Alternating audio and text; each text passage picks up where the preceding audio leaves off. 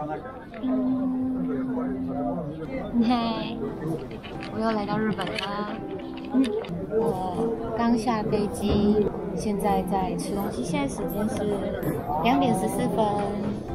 我刚刚呢在飞机上，这次很幸运，没有再掉护照了。因为我每次出国，每次都会掉护照，要么就是放在厕所，要么就放在飞机上，要么就是放在柜台。我这次呢没有掉护照，但我的那个书掉了，所以我刚刚呢其实有大概一个小时的时间是在找书的，所以现在才坐下来。现在呢就是找一个地方坐下来，然后喝喝咖啡，吃个东西，处理一下公事的部分，然后呢我就要坐车去找我姐了。我之前来日本就是我是自己来，然后看我姐有没有空再来找我。但我这次的目的就是主要是为了我姐而来，所以呢我会住在我姐姐家。这个很特别，它竟然是馅饼里面包饭。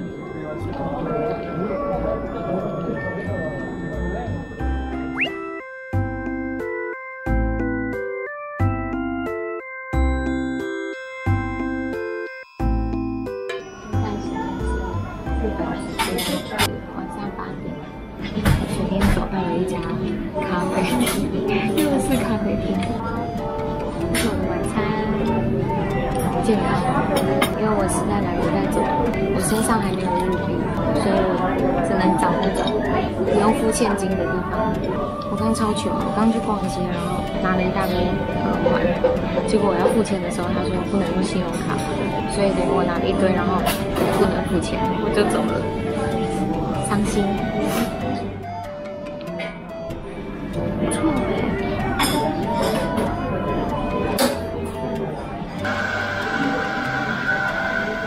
好喜欢看到这种文章，老爷爷牵着老奶奶穿情侣装逛迪士尼，超可爱。希望我老了也这样子。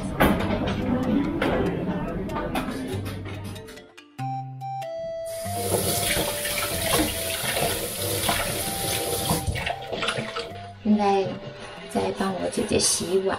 昨天呢，我后来就没有录了，因为一方面赶车嘛，然后本来想说见到我姐姐可以开始录了，结果我姐姐整个超级低气压。然后我了解了一下情况呢，就是因为这次的那个哈吉贝台风，在日本好像叫第十九号台风，整个重创我的家园，我们家整个淹水。河水、溪水都倒灌，我们家是在立木，算是很严重的灾区。我姐姐那时候给我看手机的警报啊，就像我们会有地震警报，她的那个警报已经发到五级，就是直接写说，请你保住你的性命，就是已经非常严重的程度了。然后我们家算还好，算幸运了，淹到膝盖，其他地方很多人是淹到整个家都没了，然后。烟水很难清理嘛，因为日本的家里都是那个榻榻米，会很吸水之外，那个土啊什么的，全部都会渗进榻榻米的缝隙里面。然后我姐因为回去我妈家帮忙打扫，所以她很多她这里的事情都没有办法处理，算是今天才回到他的工作岗位吧，所以他也是超忙。而且我姐这边好像是立木唯一一个没有太严重灾害的地方，所以呢，附近佐野那边医院也都受到淹水的影响，没有办法收病患，所以造成我姐这边涌入大量的病患跟伤患，所以她今天也是超级爆炸忙。我我姐说，我妈家那边连超市啊、便利商店啊都没有办法正常运作。然后他上个月才很开心跟我分享，他存了很久的钱，终于买到车。他还带车子去贴膜啊，改里面的东西什么，超像男生。我觉得我跟我姐这方面蛮像，就是我们都喜欢一些很男生的东西，不然就是做一些很男生的行为。反正就是他才跟我很开心分享他买的新车，结果呢，就因为台风泡水，他整个报销了，完全坏掉。所以我昨天就替他觉得很难过，然后我就没办法再录影了。你知道洗碗呢、我觉得洗干净就是要听到这个声音。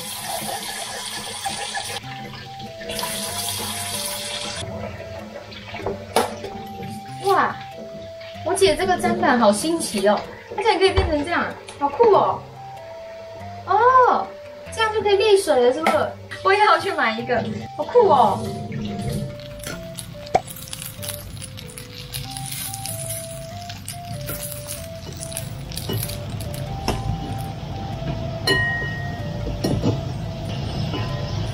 这怎么没有一个那个固定它的那个把手？有啊，在下面。跟我买的锅子一样，我的也是这样。你这样从头到尾都在里面，你不要怪我没把你剪掉。给你们看我的肩胛。怎么会有人穿那么漂亮在家里煮东西？其实呢，我们本来晚上终于等到我姐下班，我们已经计划好要去吃好料的，然后顺便去买点东西。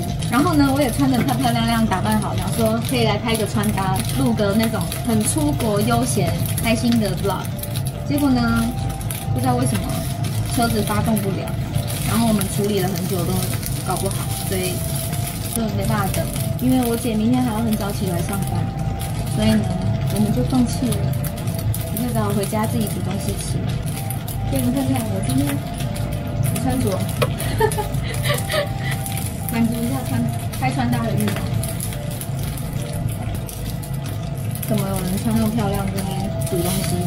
看起来就很有事。现在时间日本的九点三十八分。如果我们等到那个秋车的来，吃完回来可能十一二点，我姐没办法那么晚睡觉，因为她每天五点半就要起床了，所以今天只好无聊的过完。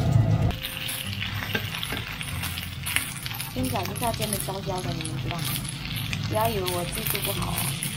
我姐晚上如果不是要陪我出门的话，她是根本就不想吃。相比之下，我是不是一直吃掉？来看一下冰箱有什么可以喝的。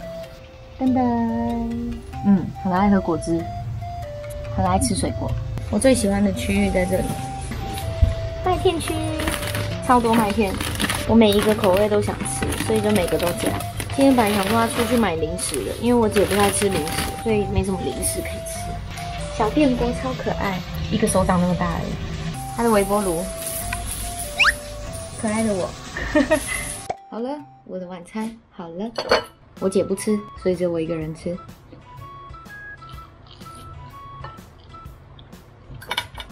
喝一个会有橙汁。姐，你的 iPad 可以看 YouTube 吗？可以啊。姐，你是没订阅我？你看，搜寻第一个就是我哎，搜寻第一个小鸡炫。原来我姐默默关心我。哦，你有订阅我，但你关闭我的铃铛，怎么可以这样呢？我帮你开启。铃铛是我有芯片，它会提醒我。哇，不知不觉我的片已经有满一个版面了耶！耶！好，给你看。哎，这是我们那个季冠军赛的下一场哎。张雨桐的脸怎么这么像狼？张雨桐是狼吗？